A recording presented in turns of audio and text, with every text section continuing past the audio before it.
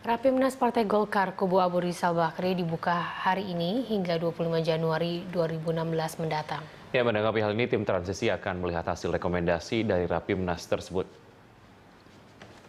Anggota tim transisi Akbar Tanjung mengatakan Rapimnas memang program dari DPP Partai Golkar. Rapimnas sendiri di, sebenarnya dimasukkan ke dalam persiapan Munas.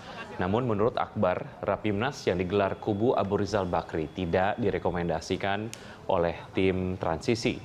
Menurut Akbar, terjadi pembedaan, maksud kami perbedaan pemahaman antara tim transisi dengan Abu Rizal Bakri. Tim transisi merekomendasikan diselenggarakannya Munas bersama bukan menggelar Rapimnas terlebih dahulu. Oke, Kalau Rapimnas itu kan adalah merupakan program daripada DPP. Saya ketahui memang ada Rapimnas dan Rapimnas itu memang dimaksudkan juga dalam rangka persiapan Munas. Ya kita tunggu aja besok berkaitan dengan apa yang direkomendasikan oleh uh, Rapimnas itu gitu ya.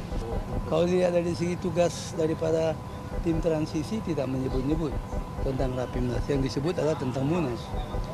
Kalau misalnya ada soal Rapimnas nanti mungkin ada anggota tim transisi mengangkat soal Rapimnas ya bisa saja.